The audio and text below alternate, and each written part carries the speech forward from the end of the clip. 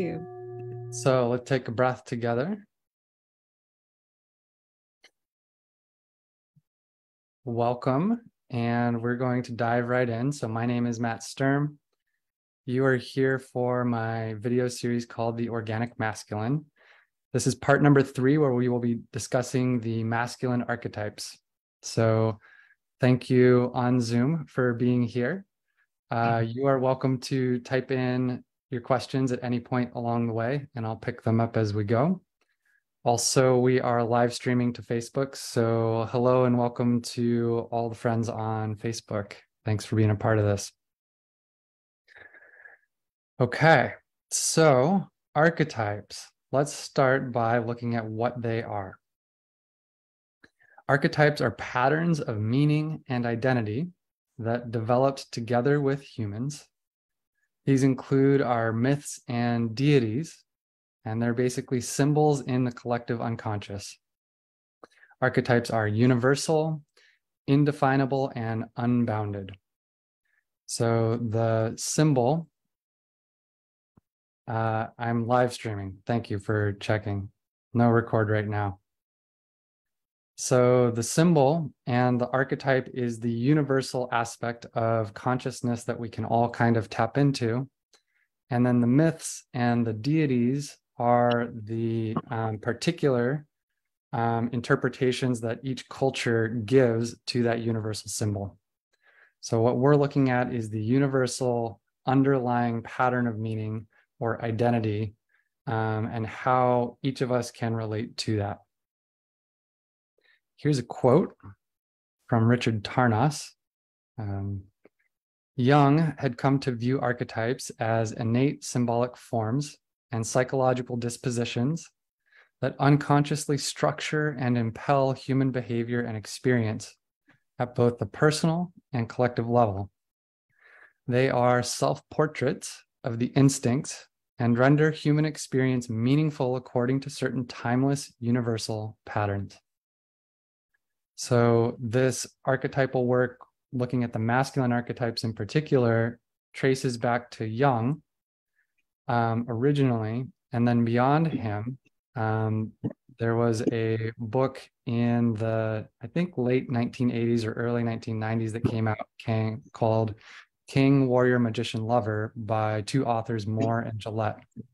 And they were part of the 1990s men's movement and did a lot of the um, theoretical foundation work around masculine archetypes for men. So the first ones that we will look at are these archetypal roles. And the roles are the particular identity that we inhabit within ourselves and within a collective over the course of a lifetime.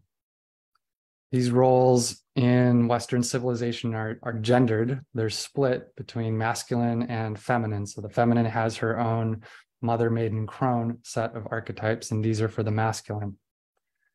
Um, they go together with aging and physiological or biological development, but the archetype is a separate thing. And we don't necessarily bring the archetype or advance to the next archetype with us as we get older. So the, the main archetypes for the masculine in his life cycle is the golden boy, the hero, the man, and then the elder. And the way that we transition between archetypal roles is the old role needs to die as the sovereign center, and then the new role needs to be born and inhabit, come into the center. In traditional, like indigenous cultures, this is largely done through rites of passage and initiation. And I argued in the first video that this is largely what we have lost through the modernization of Western culture, is the rites of passage into more mature archetypal roles. So while we may have, you know, many adult human beings um, walking around the world looking like fully mature adults, they haven't connected to the archetype of the man or the elder we're still largely at an adolescent heroic level society. and this is one of the most important messages of why men's work matters and why women's work matters. Because the archetypes are gendered, we get them through gender. Um, we do it in men's circles or women's circles, etc. Another little point here. So the archetypes are connected to the sovereign sen- sense of the self. Who am I? Where am I making my decisions from? Where is my behavior um, coming from? And who do I believe myself to be? Who is the self that's here? So at the child stage, this is a pre-egoic um, and there's many stages of consciousness and development that child psychology maps out then in adolescence, we have the ego. And that's the rational mind. That's the that's the cognitive function, um, sorting and filtering function of the frontal brain. We tend to think of the ego as being the adult consciousness.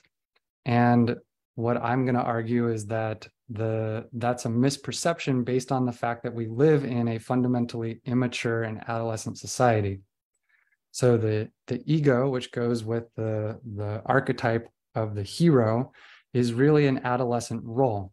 And eventually, through maturation and again through initiation, we want to take the next step beyond the ego to a transegoic sense of self, which is centered in the soul. And this is connected to the archetype of the man.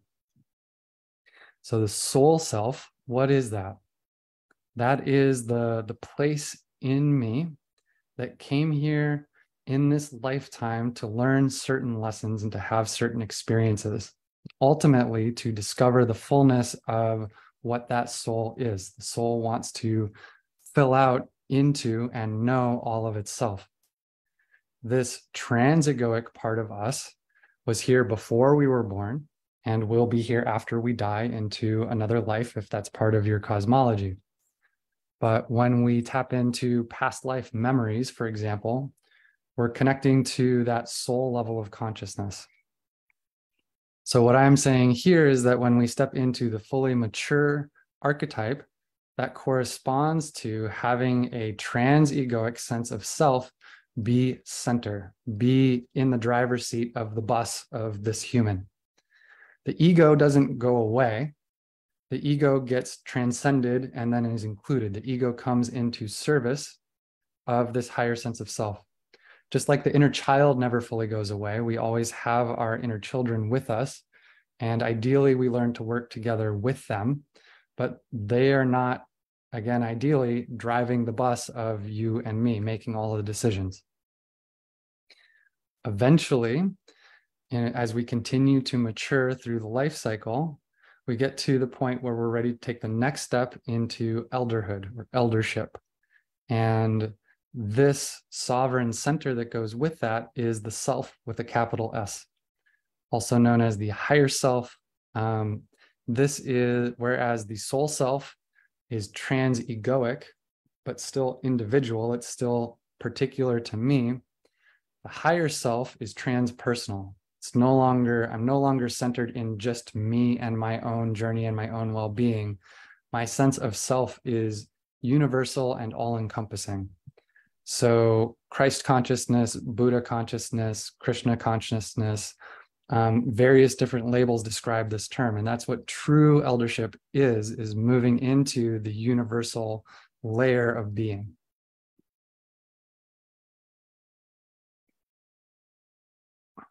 So here's a quote from Bill Plotkin about our society. We live in a largely adolescent world, and it is, in great measure, a pathological adolescence. There is nothing wrong with healthy adolescence, but our cultural resources have been so degraded over the centuries that the majority mm. of humans in quote developed societies now never reach true adulthood. An adolescent world being unnatural and unbalanced, inevitably spawns a variety of cultural pathologies, resulting in contemporary societies that are materialistic, greed based, hostily competitive, violent, racist, sexist, ageist, and ultimately self destructive. These social societal symptoms of pathoadolescence, which we see everywhere in the industrialized world today, are not at the root of our human nature, but rather are an effect of our egocentrism, of egocentrism on our humanity.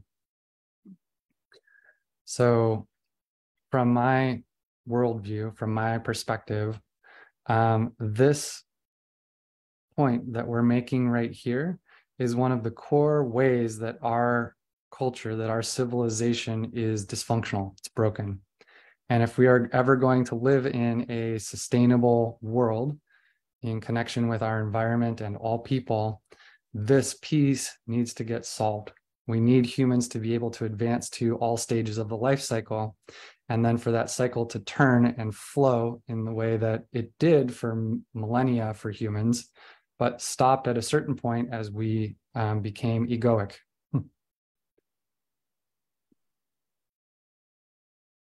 So, beyond these archetypal roles, I also want to introduce the parts of the psyche, of which there are four.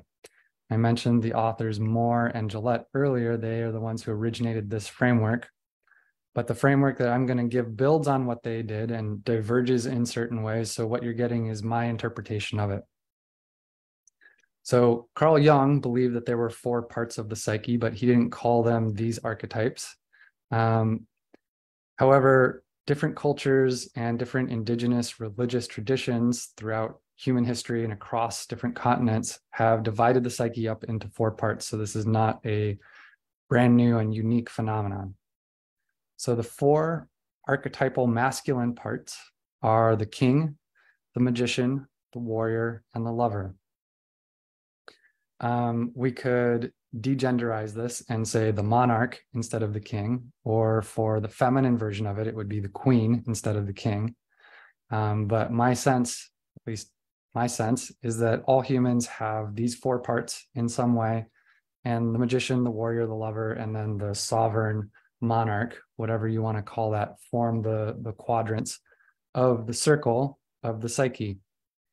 In the center of the circle, here I have the organic masculine, but it's really the sovereign center of the self, whether that's a pre egoic, egoic, soul, or capital S self, whatever version of that is, resides in the center. And when these four parts are all lined up and working in harmony and they're in balance, then they feed into our connection to the center of who I am. I find myself and I'm living from a place of balance, of coherence. And when the masculine psyche has all of these online and balanced, that creates the framework for the organic masculine. Sometimes when I work with groups of men, I ask them to consider if there is ever a time in their life when they are inhabiting their masculinity, when they are not acting through one of these four archetypes. Now, men have an inner feminine, and we all have a contrasexual other in Jungian psychology. But when we're inhabiting the masculine, when I'm in my masculine, generally, except for like very small kind of corner cases, I'm in one of these four quadrants. And so this is why this is a very powerful framework is because it covers almost all of the landscape of me as a masculine being when I'm expressing or behaving or identifying in my masculine. To put a little bit more flavor and color on these parts and just to kind of spread the awareness of it out a little bit, we can consider this to be a mandala. Whereas um, some mandalas are a map of the universe. This is a mandala, a map of the psyche, you know, as outside, as without, so within. So the king could be the sense of beingness, the magician thinking, the warrior acting, and the lover feeling. It's four aspects of um, the psyche being, thinking, acting, and feeling. We could also correlate them with the cardinal directions. The king would be north, the magician east, the rising sun, the warrior south, and the lover west. I know that Some traditions switch the magician and the lover from what I have here. They have the magician in the West and the lover in the East. And there's no right or wrong. It's just uh, whatever makes sense to you. And this is what feels right in my body. We can also map these to the elements. So the king maps to the element of earth, the magician to wind. So the intellect and thinking connects to the wind or air element. Warrior is fire, action and fire. And the south go together for me. And then the lover is water, which is connected to feeling and emotion. In the center, as we extend this metaphor, we have the center point and the element of space, spaciousness.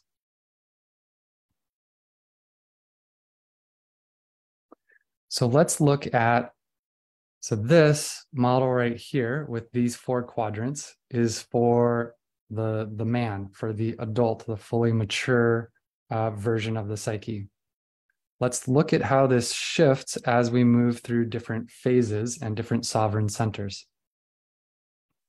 So I've got three circles here, one, two, three, corresponding to the hero, the adolescent um, aspect of us, the man, which is the adult, and the elder. So this is the progression of the selves and the parts. So the selves hero goes with the egoic self, the the man is connected to the soul self and the elder is connected to the higher us higher self. And the heroic archetype the hero and the warrior are blended together. They are kind of one cohesive and like appropriate um, unit archetype. And it's not until we move beyond the hero and the individual ego it's not until we move beyond into the soul sense of this is myself and the man that the king comes online and individuates from the warrior. So the heroic warrior or the heroic ego works in service of his own self becoming. The ego wants to become the biggest and the best and the most developed ego that it can. And the ego sees itself as a heroic warrior fighting battles and winning and um, moving into glory. It seeks glory, basically. The initiation, so kind of represented by this arrow right here, that takes us from the heroic ego into the soul self with the man and the king. That initiation is called the willing sacrifice. It's being willing to die or sacrifice our time and energy and resources for the sake of something bigger than us. And that is the action of the ego stepping down from the, the center and making space for something new to emerge, which is the king. And the king archetype in his fullness is the first and last servant of the realm. King is an archetype of service. So that shift is a big one. And then the next shift is equally big because we go from being an individual soul self to a transpersonal, interconnected with all of the universe, kind of universal sense of self. And so the king, the lover, the magician, and the warrior shift from being about me to being about us. So in the true eldership, um, not just like elderly people, but people like the indigenous grandmothers, the 13 indigenous grandmothers, if you're familiar with that group, those grandmothers are in eldership. They are functioning from their version of these archetypes. So, what does that mean? The king is kind of the, the single point head of the realm to transition into eldership is an act of succession. The king steps down, works together with the new heir to the throne and supports that new heir, and then becomes a support for the whole community. When this transition is made, the king becomes legendary. And the legendary king, or the legend in this role, redefines and pushes the boundaries of what is possible as a human being. So it gets written into the collective. King Arthur became a legend. And that legend aspect of him is that he entered into our collective consciousness. He moved beyond King Arthur the man into King Arthur the myth, the legend, the archetypal symbol. He entered that level of consciousness. Briefly, we'll look at the other three. So the lover is about feeling and connection to love and sexuality, sensuality, passion. When it moves into a transpersonal realm, the lover becomes the priest. And the primary action of the priest is devotion in service to the sacred. The priest is the tender of the temple. The feminine side is the priestess. The magician moves into the alchemist. So the role of the magician is to bring us into connection with the sacred, to imagine new possibilities for us, and to perform magical acts. He lives in a magical world. The alchemist has moved beyond the, the magic of the self and is now the magic of the cosmos moving through us. The alchemist is an, instrument, so to speak, of those transpersonal forces. And then the warrior, this is a really big one. The warrior moves from being a defender and a fighter, someone who takes action to get things done, into the role of a peacemaker. And the shift here is into compassion. And my favorite example of this, the, the human who exemplifies this the most, is Mahatma Gandhi. He was a fighter. He affected massive amounts of change and he did it peacefully through compassion through nonviolent protest and through that behavior through that action that he took he entered into again the collective he became a legend he was um, working on behalf of basically all beings and is part of our collective consciousness now comment here dalai lama as well. Absolutely. Another amazing example of a peacemaker someone who's working at a transpersonal level of consciousness to affect peace in the world. Beautiful.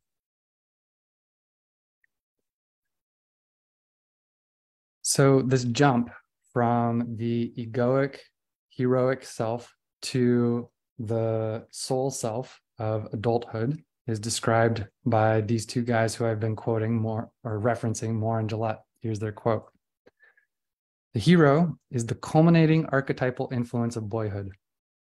Where the boy's ego is appropriately accessing the hero, he is empowered to differentiate himself from the universe, from the complexes and archetypal energies within him, and finally and especially from his mother and father. It enables the boy to slay the internalized parental opinions, values, and controls and break free of their domination. Once this is done, the ego must pass beyond the heroic stage, which is the last stage of legitimate grandiosity, to a, to a condition of true humility. It must offer its loyalty to the transpersonal other in its form as the archetypal king and queen. This entire process if all goes well, consolidates an emergent ego king axis and leads to mature selfhood. One term that they use here, which is worth fleshing out a little bit, is the ego king axis. So we do not want to become the archetype. Um, the archetype is incredibly powerful. It lives in the collective consciousness. It's vastly larger than any single one of us when the archetype becomes us, it consumes us. Rather, we want to have a solid sense of self that is able to open and connect to the archetypal energies. And so we want to create an axis, in their terms, between the ego and the king archetype, and an ego lover axis, and a ego magician axis. Jung his word here of moving to the self is the process of individuation. And what individuates is the core of me from all of these kind of unconscious behavioral influences of the archetypes. So for him, the process of maturing is largely finding myself in relation to and not being owned by the archetypes.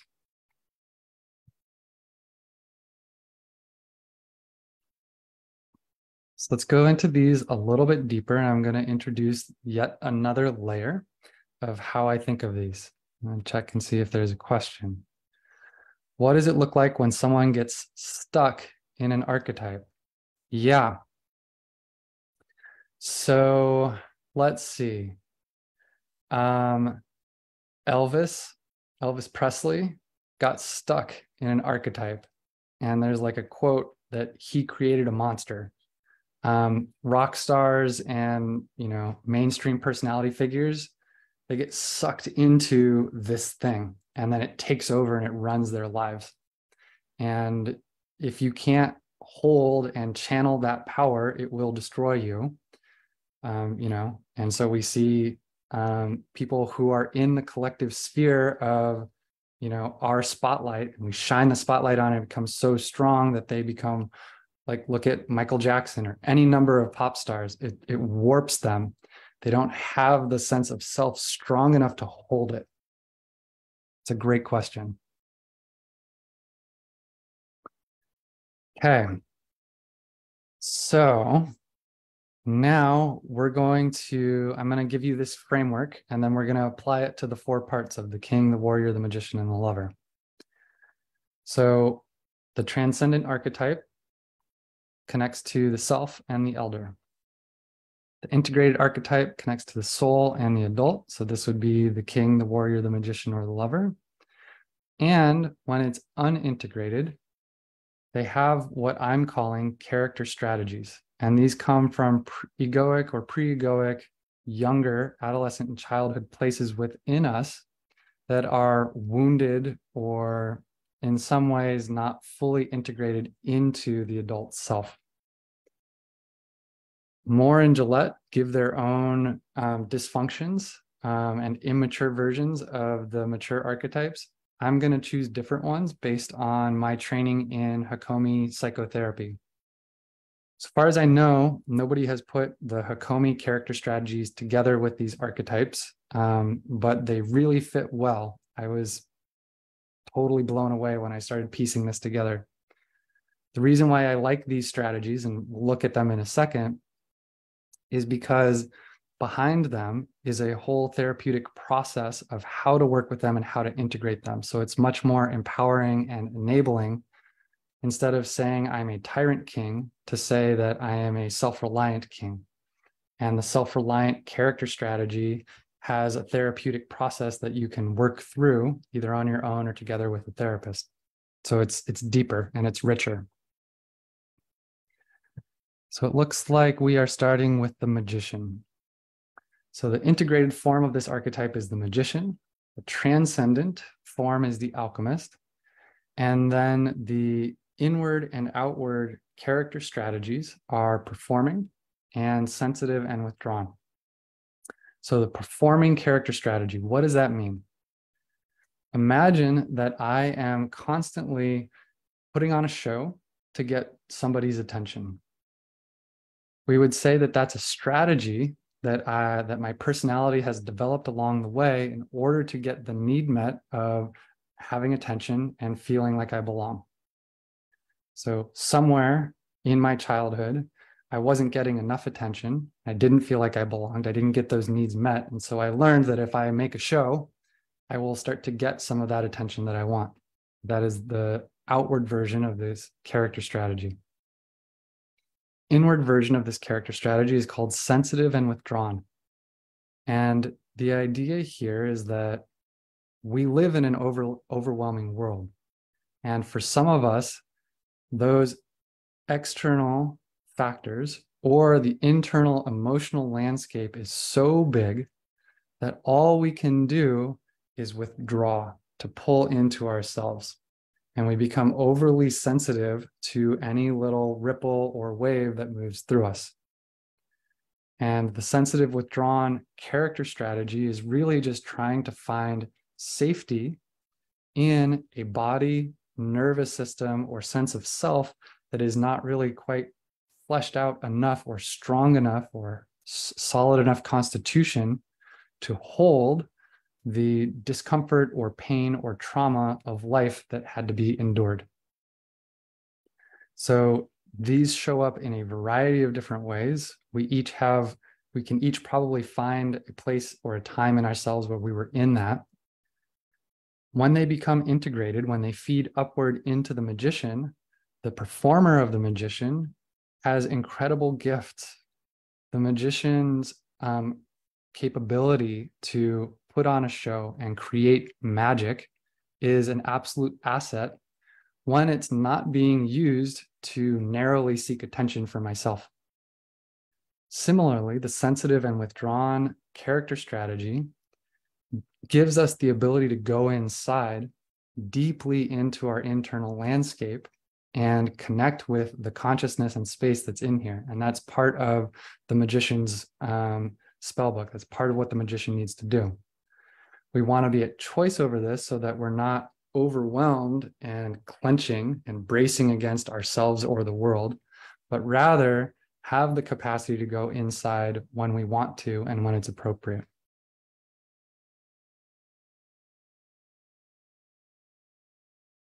Next archetype is the warrior. So I said a little bit about the peacemaker already and the warrior, but let's look at tough, generous, and burdened, enduring, these two character strategies.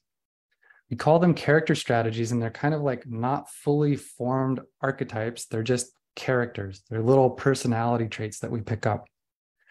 So the way that tough generous works it's the outward face of the warrior is that i have a need to belong and to get my needs met.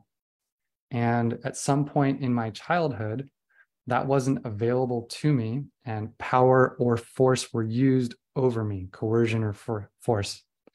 So, what I internalize is that I need to be tough. I need to put out a big front in order to get my needs met. That if I'm vulnerable, I'm going to be taken advantage of. So, I'm tough. But then for people who agree to the power structure of me being dominant, I'm generous you follow me i'll take care of you i'll feed you i'll give you my resources you'll be part of mine. And so the the tough generous character picks up sidekicks basically and kind of pushes people around. But then once you're on the in with them they they love you dearly.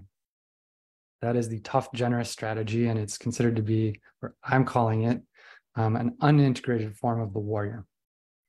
Core need is belonging and getting needs met in through vulnerability, but not knowing how to do that. On the flip side is the character strategy called burdened and enduring. And in this strategy, the needs of other people are put above my own needs. I'm caretaking. Um, I'm beholden to all of these other people who, or pets, or whatever, all these other aspects of my life that need my time and attention. I have to take care of them, even though it's not really what I want to do. And even though it's not actually feeding or nourishing me. So I grudgingly caretake other people. And there's a layer of resentment that goes with it. I endure it, but I'm burdened. And because I'm not truly free to be me, um, other people's requests are met with resistance. And in this character strategy, I can resist. That is the one place of power that I have. I will be stubbornly sitting here and not moving, and you can't make me move no matter how hard you try. That is the full expression of the burdened and enduring character strategy. It's one I know well. so these are the unintegrated um, versions of the warrior archetype. And when they become integrated, they both add something. They both bring their gifts into the warriors. The tough, generous archetype character strategy brings that grit and resolve, the capacity to show up in discomfort and also to be a leader in some ways. And the burdened enduring, when it's integrated in, gives us the capacity to be with discomfort, to stay and kind of hold the course, even when times are tough.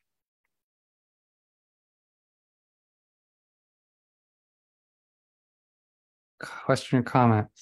How would one start integrating to warrior from burdened enduring, for example? Yeah, great question. So it's beyond the scope of this talk to go fully into these. Um, it's very deep and super powerful. I, it's juicy. I love these um, character strategies. The burdened enduring strategy is around connecting to my freedom and being in connection to others at the same time. And they're seen as mutually um, exclusive. I can either have my freedom, which isn't really available to me, or I can caretake these people and keep connection here. So the missing experience is being fully liberated as me in relationship. And the more relationships and experiences I can give myself in that framework, the more I'm going to move out of I have to endure other people. Good question. Our next one that we're going to examine is the lover. So, the lover is about feeling and love and romance and intimacy. The priest, as I said, is the transcendent version of this. It takes that love and it turns it into devotion. The character strategies of the lover outward strategy is charming and seductive, and the inward is dependent and endearing. So, charming and seductive. This character strategy puts on an attractive face, whether it is sexually or just interpersonally. I'm putting on uh, a show in some ways. I'm saying, here's the me that I think that you will like and be attracted to. There is a core insecurity here that the authentic version of me is not going to be liked or accepted or loved. So that's the core need that doesn't get met. And what I learn along the way is that I need to seduce, I need to charm, I need to be funny or witty, or I need to be overly sexual in some way. Um, there are different ways that this show that this comes out, but ultimately the issue is that there's the me that I'm showing you, the mask, and then there's the authentic me that doesn't ever get to come out. The next one, and I'll come back to your question in a moment, Venga, is dependent and endearing. This character strategy, in this character strategy, the strength of the other, whether that is the parental figure, at least as children, it generally is, or our partner in relationship, is so solid and my sense of who I am is weak in relationship to that, that I need this other person. And I kind of latch on and I need to be taken care of by other people. So the strategy here is I become dependent to those who have resources and agency, and I I I lean on them to get my needs met. And then I make myself kind of enduring, or sorry, endearing through being helpless and weak. And it's kind of cute and quaint. Um, but by being small, by being little or in some ways unable, I'm endearing. I'm like a, a small cat that you find on the side of the road that you just want to pick up and take care of and I make myself into that being who is just taken care of. And the idea, the the underlying psychological issue is I haven't figured out how to take care of myself. And so there's a merge that happens in relationship. So, question from question is Is there a questionnaire or self evaluation that is available to find out where I am currently in each of these archetypes? No. um, there is a textbook that lists out these character strategies. It's called Experiential Psychotherapy for Couples. It's dense, like it's a textbook, um, and it gives the best description of what these character strategies are in the Hakomi method. But since nobody until this presentation now has put these character strategies together with these archetypes, um, there is not currently a questionnaire like this, but maybe at some point I'll create one. Thank you. So we want passionate um, lovers who are in their sensuality. And the gift of charming seductive when it's integrated is that I get to become a charismatic lover. I don't want to be doing it from a place of insecurity, though. Um, the dependent endearing is about connection when it's integrated. I want to be able to open into the depths of intimacy and connection as a lover, but again, not from the place of merging or from needing the other to take care of me. Another question How common is it to identify in both inward and outward traits outside of integration? Generally, most of us will have one or the other as a go to. Some of us will have neither. They'll just kind of like through whatever life circumstances, you arrived at an integrated version of the lover. And you don't have to deal too much with charming, seductive. You don't have to deal too much with dependent, endearing. But some of the other character strategies might really have a hold on you. Generally, people have like a couple, like two to three to maybe even four of these character strategies that play out at any given time. It's very unlikely that you would have both the outward and the inward going, though it is possible. I have seen it. And always, always, always, it's either one or the other and never both at the same time. Great questions. Okay, so the king. King is in service to the realm. The king um, is about being and bestows his his blessing to the subjects. And the fertility of the king is the fertility of the realm. At the transpersonal or transcendent level the king moves into legendary status and enters the collective unconscious or collective conscious pushing the bounds of what is possible as a human being. The dysfunctions the unintegrated places within the king. Outward character strategy is called producing inward character strategy is called self reliant. So, the producing character strategy. In this strategy, I believe that I can only be worthy of love and connection because of what I create and do, what I achieve in the world. So, I produce, I produce, I produce, I work, work, work, work, work in order to be enough for me and be enough for what I perceive as other people. There is um, a sense, so the, the quality of the king is being. And this dysfunction is that being is not enough. I need to do something to prove it. Inward strategy is called self reliant.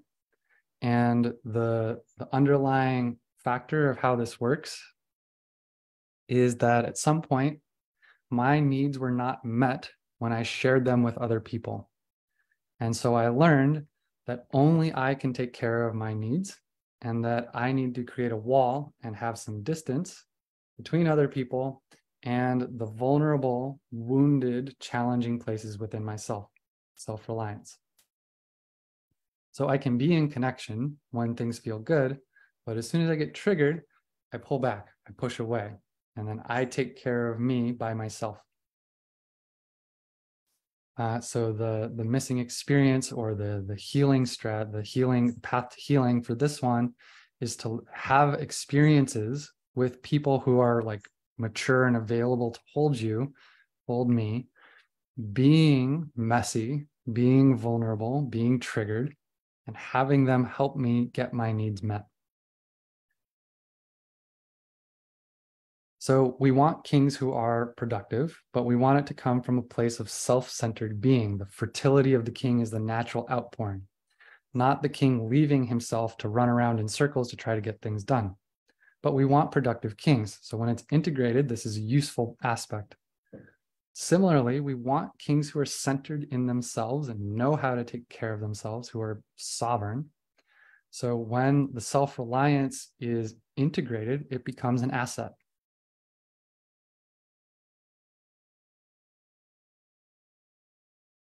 Okay, so the next two slides, I'm not going to go through in full detail, but this is just a summary of what we talked about, looking at the core archetype, quality, the transcendent version, transcendent quality, and a little overview of what these terms are alchemist, peacemaker, priest, and legend. Putting this here because I'm recording this, so you can go back in the recording and pause it and look at this information. But everything that's here, I've already said. Similarly, this slide has a basic overview of the character strategies with um, a little blurb of what's happening inside of that strategy. So everything that's here, I've said in some way or another, and you can go back and look at the replay if you want to delve into it more. So this is just here for you. Can you restate about the self reliant and how it doesn't become dependent? Yes. So, this is the fear of the self reliant person is that I will get swallowed or merged or consumed by you in relationship. I need to create my distance. And what needs to be learned is the inhale and exhale of connection. Being fully me and you being fully you together in connection so that I can stay me and be close with you at the same time. And uh, without hurting you or pulling away, I can take my own space, or I'm able to have you take your own space. And if you want to go into these dynamics, that's largely through what's called attachment theory in psychology. So to pull it all together, here is the complete mandala of the archetypal psyche. And you'll see at the top here, I have monarch instead of king. And in the west direction, I have priest and priestess. So this is a gender neutral version, applies to all humans. Um, so we have our eight strategies on the outside character strategies. And those are kind of our reactive layers that we pick up in childhood. As we come more into maturity and our centers, we enter the next layer, which is the monarch, the magician, the warrior, and the lover, integrated archetypes. And then as we move into even more, like it's kind of a big deal to come into the self, um, expansive, transcendent um, aspects of our being and our nature, we step into even more transpersonal archetypes legend, the alchemist, the peacemaker, and the priestess. In the center of all of this is the self. Psychologically speaking, it's the self. Spiritually speaking, it's spirit, it's connection to all of life, it's knowing one's self throughout the whole.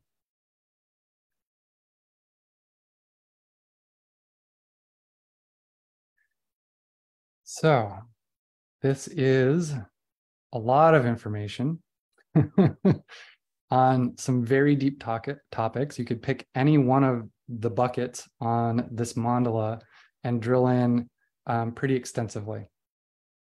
But just as a first pass, as an overview on Matt's system for the archetypal nature of the psyche, here it is. I will open it up for other questions or comments.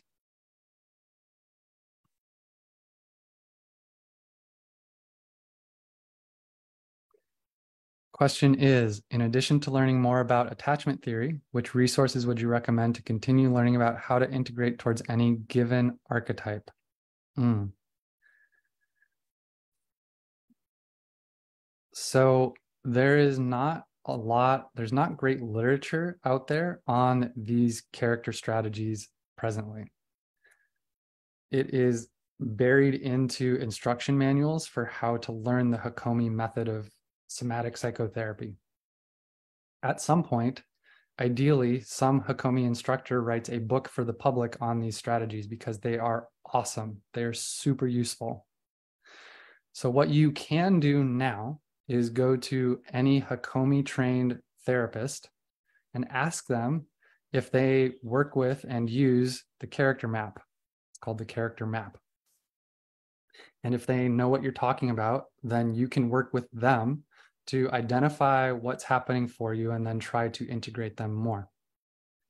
They almost certainly are not using that character map in this mandala form in connection with the archetypes. Like I said, what I'm giving you here, it's brand new and it's unique to me. So um, hang out with me more, I guess would be the answer.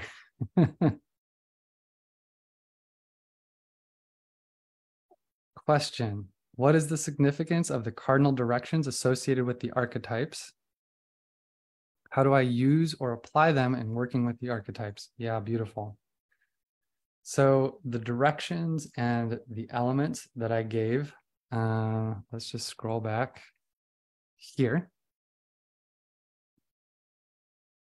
Every indigenous spiritual tradition that we know of has some version of calling in the directions as a spiritual practice and a way to open into sacred space. So these directions are here in case you have any prayerful or ceremonial connection to them. And it's just weaving together more of the map of what other humans are doing. Same with the elements.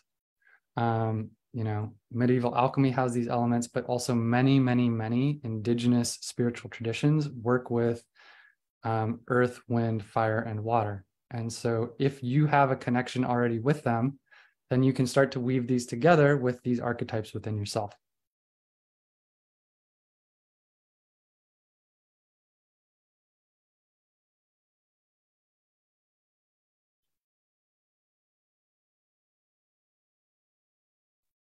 I'm going to voice my question.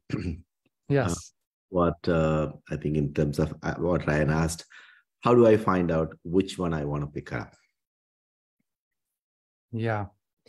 So spend some time here. Hmm.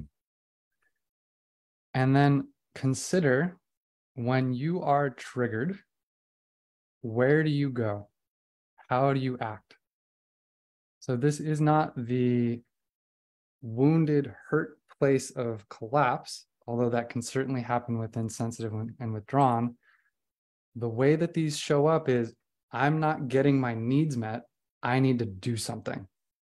Where do you go? What behavior do you turn to when you need to get your needs met?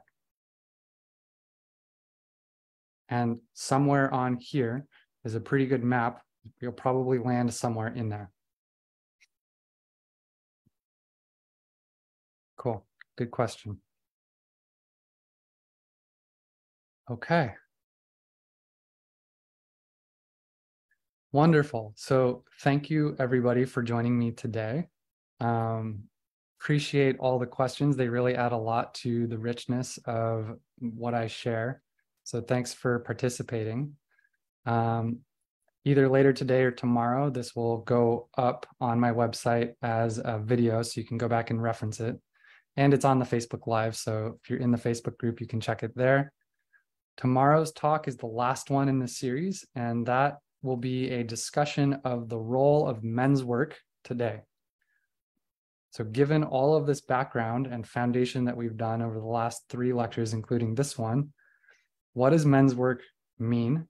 How do we do it? What makes it effective? And why do we care? So, that's where we're going tomorrow. Beautiful. Thank you, thank you, thank you.